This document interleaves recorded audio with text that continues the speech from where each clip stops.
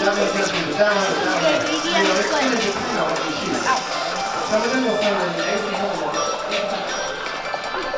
this.